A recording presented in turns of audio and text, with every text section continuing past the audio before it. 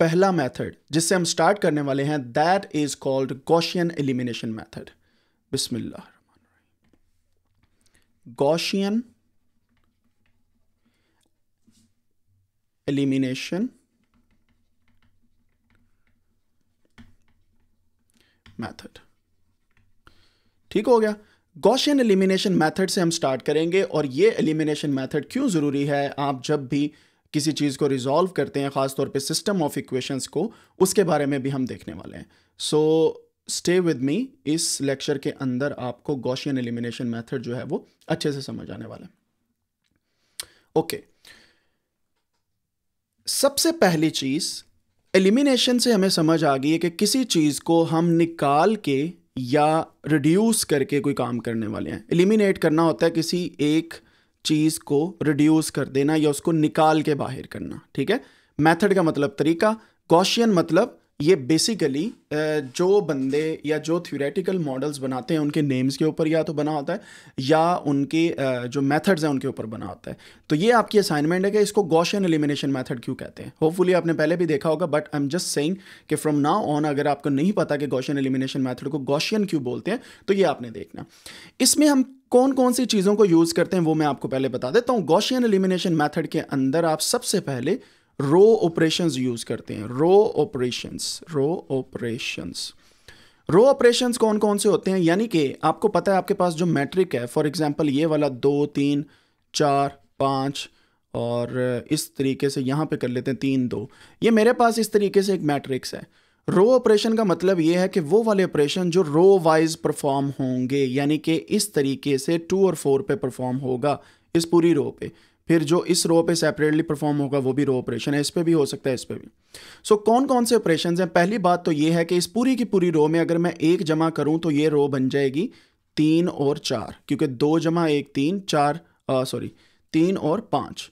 तो ये पूरी की पूरी रो बन जाएगी पाँच। इसका मतलब है मैंने एक इसमें जमा कर दिया। ये भी हो सकता है कि इसमें दो में जब एक जमा किया तीन और पाँच बन गया बाकी रोज़ वैसे की वैसे मैं छोड़ देता हूँ। फॉर एग्ज़ाम्पल तीन और दो तीन और पाँच। अब अगर इस पर मैं एक और ऑपरेशन करना चाहूँ, मेरा मकसद है कि मैं इसको एक बनाऊँ। इसको मैं एक बनाऊँ। तो किस तरीके से इसको मैं एक में कन्वर्ट कर सकता हूँ? सिंपली एक चीज़ ये है कि मैं पूरी की पूरी रो को माइनस टू कर दूँ। तो ये क्या होगा? ये हो जाएगा तीन माइनस दो which is equal to one तो मैं डायरेक्टली वन लिखता हूँ, पाँच माइनस दो को तीन लिखता हूँ। और बाकी मेरे पास वैसे की वैसे ही चीज़ें सारी की सारी आ जाएँगी। सो so, ये होते हैं रोज ऑपरेशन या तो इसको किसी के साथ मल्टीप्लाई किया जाए नॉन ज़ीरो स्केलर के साथ या दो रोज को ऊपर नीचे कर लिया जाए या हम क्या करते हैं ऐड या सब्ट्रैक्ट करते हैं. सो so, कौन कौन से रोज ऑपरेशन हैं जो हम लगा सकते हैं इसके अंदर? मकसद मैं आपको बताता हूँ क्यों करना है. I am just telling you row operation कौन कौन से हैं. सो रो ऑपरेशन के अंदर रो ऑपरेशन के अंदर सबसे पहले आता है स्वैपिंग टू रोज आप दो रोज को स्वैप कर दें, यानी कि तीन और दो को यहाँ पे ले आए और तीन और पाँच को यहाँ पे ले आए. So first one could be swapping the rows swapping the rows in a matrix rows in a matrix in a matrix okay so हम पहला काम ये कर सकते हैं कि हम रोज को ही स्वैप कर दें. ठीक है? Second thing what we can do is we can actually uh, multiply a row multiply a row with with a zero scalar quantity यानी कि एक ऐसे नंबर के साथ हम मल्टीप्लाई करें विच इज़ नॉन ज़ीरो यानी कि वो माइनस में भी हो सकता है। वन से पीछे जितना मर्ज़ी जाते जाएँ ज़ीरो नहीं होगा और प्लस वन से भी जितना मर्ज़ी आगे जाते जाएँ। तो स्केलर नंबर से हम मल्टीप्लाई करेंगे वो माइनस भी हो सकता है प्लस भी but it's should be non zero Number three is we can actually add or subtract जिसको अक्सर औकात में सब्सट्रैक्ट बोल देता हूँ बट यूजली सब्ट्रैक्ट या हम मल्टीप्लाई uh, करते हैं। रो नंबर वन है ना इसको रो नंबर टू से अगर करते हैं। सो so, पूरी की पूरी रो को उठा के हम कोई भी अरिथमेटिक ऑपरेशंस लगा सकते हैं। तो ये तीन रो ऑपरेशंस आपके सामने हैं। पहला है जी swapping the rows into a matrix uh, in a matrix then multiply rows and then at the end हम क्या करते हैं मल्टीप्लाई uh, करने के बाद हम ये भी कर सकते हैं ऐड सब्ट्रैक्ट और या something else we can do अब ये चीज़ आपको याद होगी कि रिथमेटिक ऑपरेटर ऑपरेटर्स क्यों यूज़ होते हैं। अब आपको भी पता है कि जब हम सिस्टम ऑफ़ इक्वेशंस की बात करते हैं then we actually first need to create a matrix यानी कि एक पूरी की पूरी सिस्टम ऑफ़ इक्वेशन को एक मैट्रिक्स के अंदर हमने कन्वर्ट करना होता है। और मैट्रिक्स क्या होता है? आपको भी पता है कि हमारे पास एक ए मैट्रिक्स होगा, फिर दूसरा एक्स यानी कि वेरिएबल का मैट्रिक्स है, यानी कि कॉफिशेंट का मैट्रिक्स वेरिएबल का matrix and then at the end constants का मैट्रिक्स सो तीन मैट्रिक्स हमारे बनते हैं, हम उसको देखते हैं कि किस तरीके से हमने तीन मैट्रिक्स बनाने and then I will show you इन तीनों में क्या फ़र्क है। सो so, मैं यहाँ से अपना कलर जो है उसको ग्रीन कर लेते हैं। अब मैं आपको एक इक्वेशन लिख के दिखाता हूँ देन वी विल सी ये इक्वेशन किस तरीके से हमारी सिस्टम ऑफ़ इक्वेशन के अंदर हेल्पफुल साबित होगी। X plus two y plus z मैं थ्री वेरिएबल्स इक्वेशन लिख रहा हूँ अब is equal to nine the second one is two x plus three y plus z is equal to sixteen The third one is minus x plus y minus 2z is equal to minus 1. ये मेरे पास एक equation आ गई है, ठीक है? अब आपको पता है कि जब कुछ नहीं होता तो वन होता है। यहाँ पे, ठीक है? जब कुछ नहीं लिखा होता तो वन होता है। हमने क्या करना है? कॉफिशेंट का एक सेपरेट मैट्रिक्स बनाना है। For example I can convert this into a matrix यहाँ पे आएगा वन यहाँ पे आएगा टू यहाँ पे आएगा माइनस वन फिर आएगा two three and one two three and one and then आएगा one one and minus two one one and minus two ये तो हो गया हमारा मैट्रिक्स ए यानी कि कॉफिशेंट्स का मैट्रिक्स हमने जितने भी कॉफिशेंट्स हैं जिनको मैं हाईलाइट कर रहा हूँ including their signs you will copy them for example यहाँ पे माइनस है, ये भी आएगा इसी के अंदर. ये आ गया, ये आ गया this one this one and also this one so the second one is हम क्या कर रहे हैं? यहाँ पे एक्स वाई एंड जी ये हमारा आ गया वेरिएबल मैट्रिक्स ठीक है? एंड देन हमारे पास थर्ड मैट्रिक्स है nine sixteen and minus one सही हो गया? हमने अब क्या करना है? हमने इन तीन मैट्रिक्स को बजाय इसके हम फ़र्स्ट स्टेप के अंदर ये वाले मैट्रिक्स को इस मैट्रिक्स के साथ ऑगमेंट करेंगे।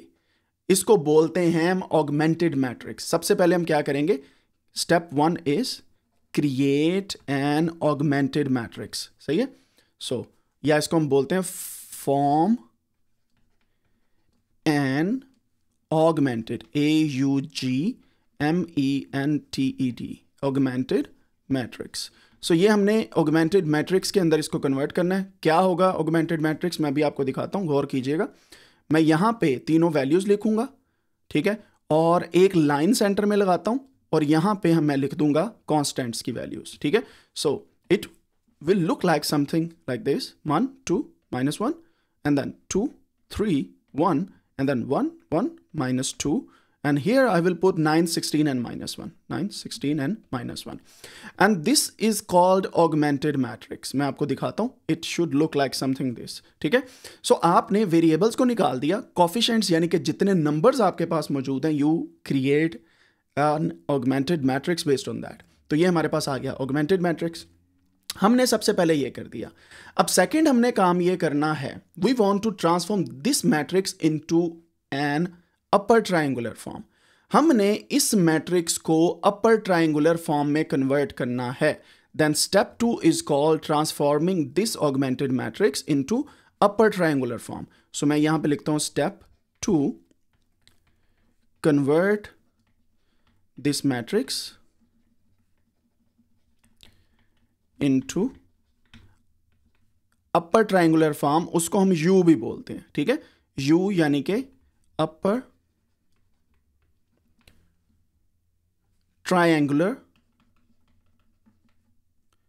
ट्राइंगुलर मैट्रिक्स या ट्राइंगुलर फॉर्म के अंदर इसको कन्वर्ट करना है, ठीक है?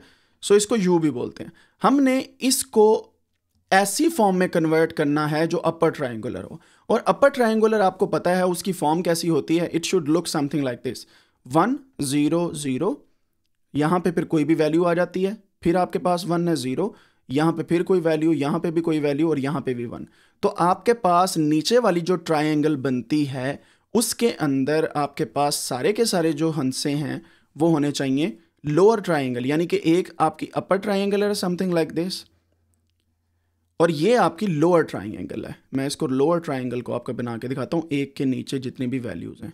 ठीक है? हमने क्या किया है? अपर ट्राइंगुलर मैट्रिक्स बनाया यानी कि नीचे वाले हमने सारे ज़ीरो करने सो so, इसको करने के लिए आपको रोज ऑपरेशंस को यूज़ करना पड़ेगा। रोज ऑपरेशन ऑपरेशंस जो मैंने आपको बताए हैं।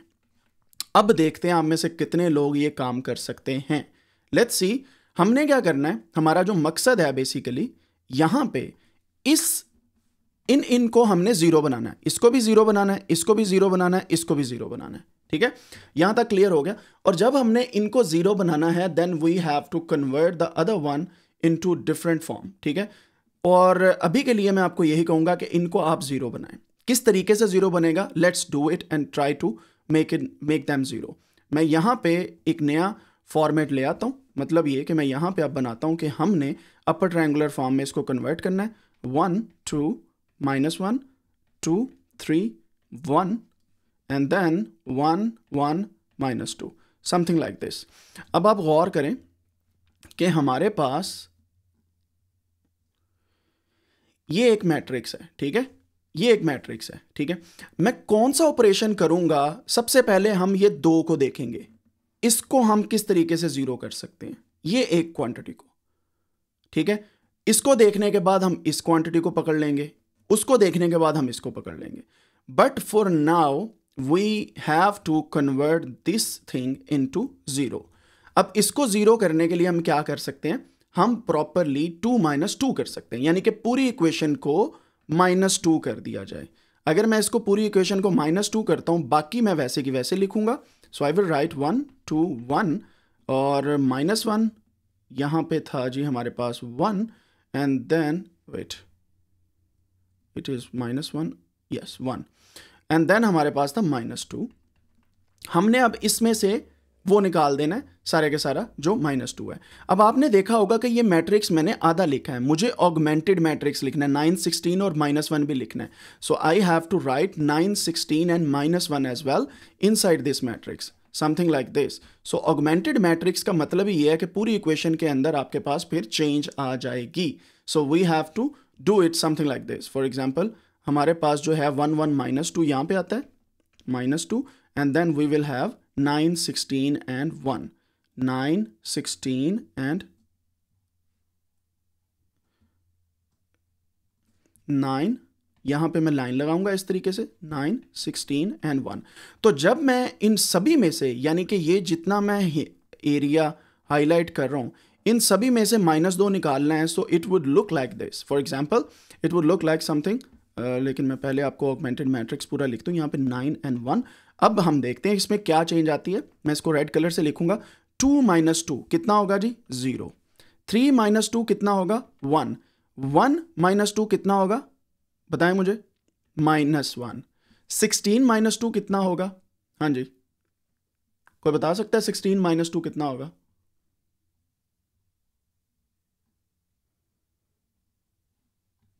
सिक्सटीन माइनस टू कितना होगा? फोर्टीन।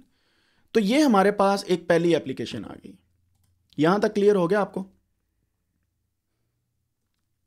ठीक हो गया। हमने ये वाला ज़ीरो कर दिया। अब आगे चलते हैं। हमारा अगला टारगेट है ये वाला। इसको हम कैसे ज़ीरो करें? यानी कि दिस पोजीशन ग्रीन वन इसको ज़ीरो करने के लिए हम क्या करेंगे? ये पूरी की पूरी रो में से क्या करेंगे? एक ऐड कर देंगे इस पूरी रो के अंदर। यानी कि प्लस वन कर देंगे। तो प्लस वन करने के बाद हमारे पास क्या आता है? सॉरी फॉर दैट मैं थोड़ा सा इसे नीचे ले जाता हूँ। यहाँ पे। प्लस वन हम करेंगे।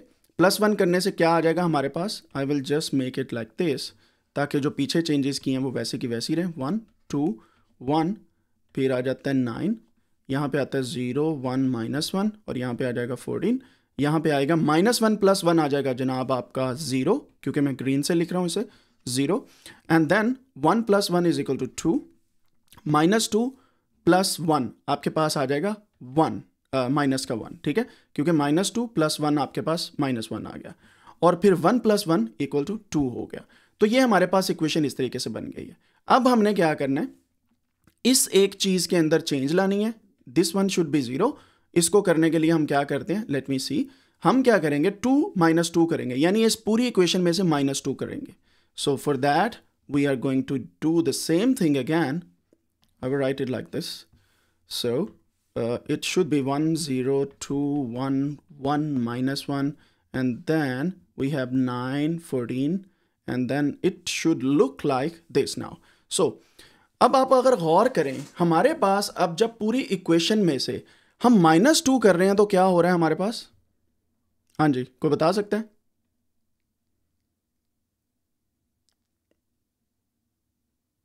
क्या हो रहा है? हम अगर इस पूरी इक्वेशन में ज़ीरो माइनस टू करते हैं तो हमारे पास आंसर कितना आता है? कोई बता सकता है ज़ीरो माइनस टू का आंसर क्या आता है?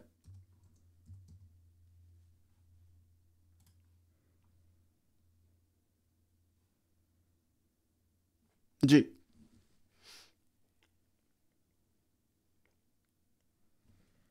मिसाल के तौर पे ये टू माइनस टू अगर हमारे पास ज़ीरो दे देता है and this should be minus two minus two या प्लस हो जाएगा two and this should be four लेकिन यहाँ पे भी हमारे पास क्या हो रहा है? टू माइनस टू करके हमारे पास कोई इक्वेशन में चेंज आ जाएगा। ठीक है? तो उसको कैसे करेंगे?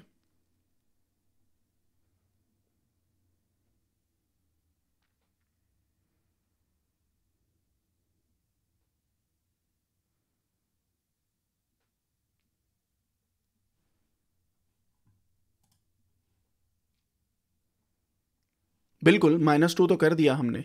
ये ज़ीरो माइनस टू हमारे पास माइनस टू आंसर देता है। So just keep in mind you have to think about this stuff before going into the different kind of equation तो इसका दूसरा तरीका क्या हो सकता है? आपको भी पता होना चाहिए। इसका और तरीका क्या हो सकता है कि हम टू को किस तरीके से डिवाइड करके इसको कन्वर्ट कर सकते हैं?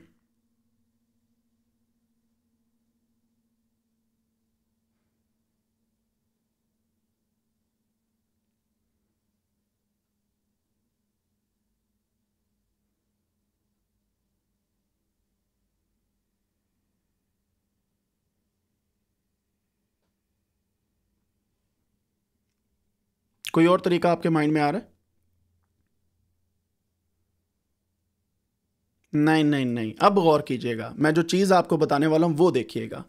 हमने पहले ये देखना है कि ये जो मेरे पास इक्वेशन है ना, ये वाली इक्वेशन यहाँ पे ज़ीरो है। इसका मतलब है अगर मैं इस इक्वेशन को ऊपर वाली से मल्टीप्लाई कर देता हूँ तो ये ज़ीरो हो जाएगा सिंपली ठीक है?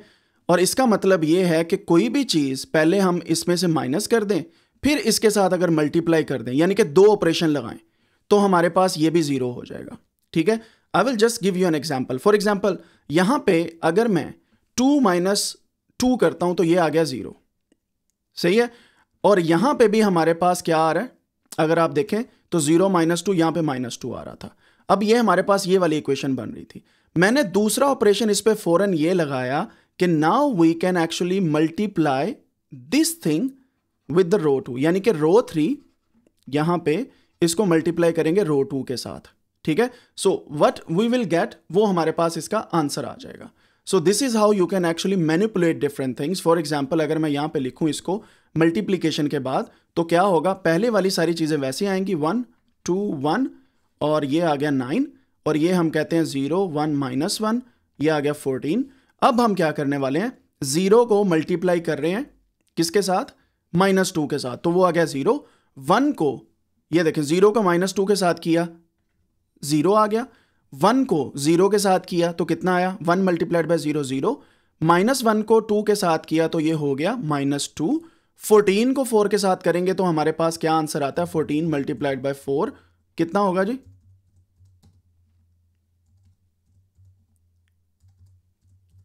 ये हमारे पास फोर्टीन मल्टीप्लाइड बाय फोर छप्पन आ जाएगा फिफ्टी सिक्स ठीक है? तो हमने इसको इस तरीके से अपर ट्रायंगुलर के अंदर कन्वर्ट कर लिया now you can have an idea कि हमारे पास ये तीनों ज़ीरो हो गए हैं। अब इसका हमें फ़ायदा क्या हुआ? ये सारा ऑपरेशन करने का हमें क्या फ़ायदा हुआ? अब आपको मैं वो बताता हूँ क्या फ़ायदा हुआ। हमें फ़ायदा ये हुआ, पहले तो मैं आपको थोड़ा सा रिवाइज करवा दूँ क्योंकि यहाँ पे काफ़ी लोग फंस गए हैं और उनको मैं बताता हूँ कि सबसे पहले हमने इसको टारगेट करके ज़ीरो कर दिया। फिर हमने ये नीचे वाले को ज़ीरो किया। फिर हमने ये इसको ज़ीरो किया, लेकिन वो पीछे वाला हमारे पास माइनस दो हो गया था दिस वन ठीक है? फिर हमने क्या किया? उसको ज़ीरो करने के लिए हमने रो थ्री को मल्टीप्लाई कर दिया रो टू से, और जिसका आंसर हमारे पास ये वाला मैट्रिक्स आ गया। एट द एंड हमारे पास ये मैट्रिक्स आ गया। अब हमने इसको कन्वर्ट करना है, इस मैट्रिक्स को इनटू एन इक्वेशन वो कैसे करेंगे? फॉर एग्जांपल इसके साथ एक्स है तो ये आ जाएगा वन एक्स अब मैं इसको इक्वेशन के अंदर कन्वर्ट कर रहा हूँ। इक्वेशन के अंदर, ठीक है? और इसको कैसे करेंगे इक्वेशन के अंदर? I will just show you just a minute तो ये हमारे पास इक्वेशन मैं वाइट कलर की बजाय ग्रीन में लिखता हूँ ताकि सीधी रहे चीज़। तो ये अगर हम देखें तो one x plus two y plus one z is equal to nine ये पहले वाली चीज़ आ गई, ठीक है? अब दूसरे वाली चीज़ हम लिखते हैं ये वाली। अगर आप गौर करें ज़ीरो किसी के साथ मल्टीप्लाई करेगा तो वो ज़ीरो ही हो जाएगा तो हम वो नहीं लिखते। हम चलते हैं आगे। हमारे पास आ गया one y minus one z. ठीक है? Is equal to fourteen. फिर हमारे पास तीसरी आ गई, ज़ीरो ज़ीरो हम नहीं लिखते। जैसे मैंने पहले भी आपको बताया था तो उसके बाद हम क्या लिखेंगे? Minus two z is equal to fifty six. अब अगर आप गौर करें तो ये हमारे पास एक इक्वेशन आई है। हम अब क्या करेंगे? अगला स्टेप क्या है? बैक सब्सटीट्यूशन करेंगे। यानी कि इस इक्वेशन को हम जी की वैल्यू फाइंड करने में फाइंड आउट करेंगे फिर पीछे जी की पुट करेंगे तो वाई की आ जाएगी फिर वाई और जी की पुट करेंगे तो एक्स की आ जाएगी। So this is called back substitution ठीक है? और गॉशन एलिमिनेशन हमें यही बताता है कि आप मैट्रिक्स में लोअर ट्राइंगल को सॉरी uh, पूरे मैट्रिक्स को अपर ट्राइंगुलर में कन्वर्ट करेंगे तो इस तरह वैल्यू आ जाएगी।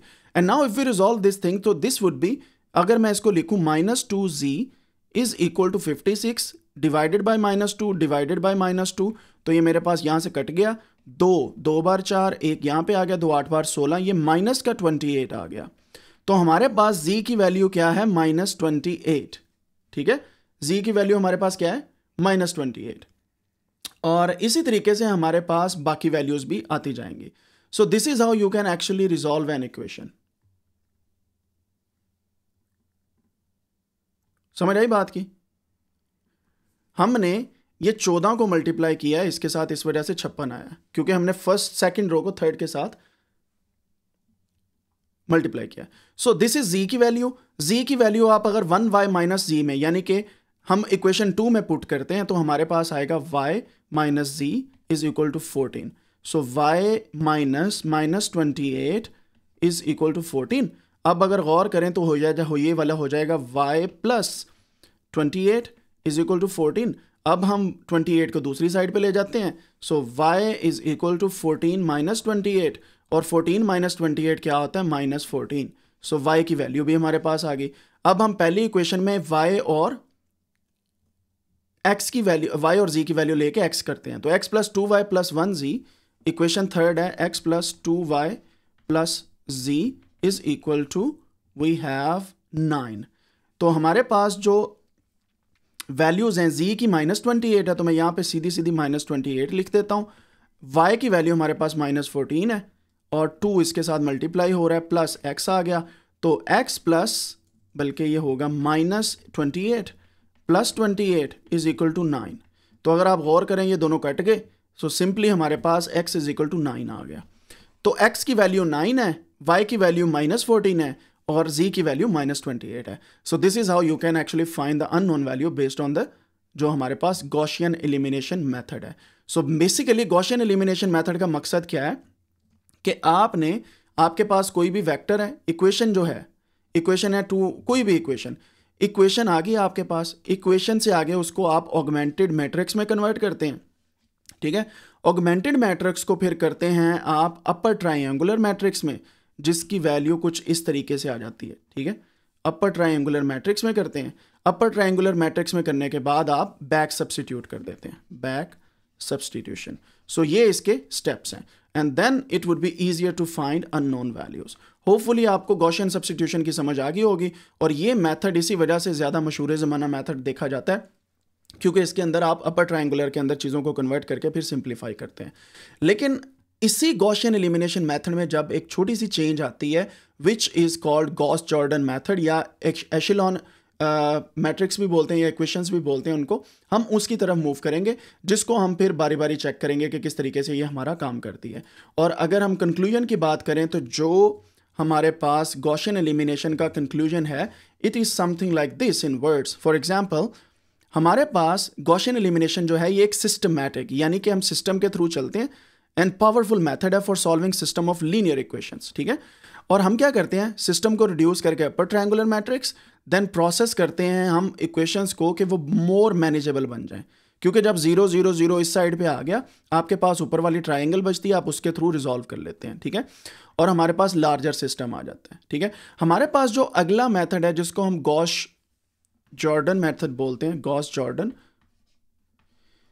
इसको मैं आपको डिटेल में बताऊँगा, लेकिन एक चीज़ आपको बता दूँ, इसमें क्या होता है, आप पूरी की पूरी इक्वेशन को बजाय इसके कि जैसे हमने, अगर मैं आपको थोड़ा सा दिखाऊँ, यहाँ पे जो लास्ट मैट्रिक्स हमारे पास आया था,